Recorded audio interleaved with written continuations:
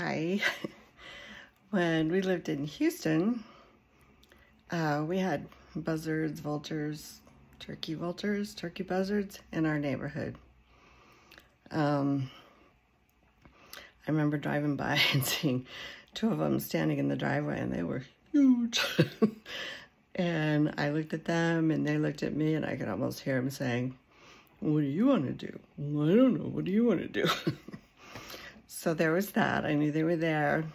One day I was leaving my neighborhood and I drove past my neighbor's house and it was covered with buzzards on the peak of the roof, all over the lawn. It was a buzzard convention.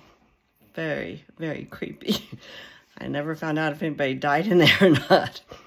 But if you need an idea for a horror story, be my guest, Buzzard House.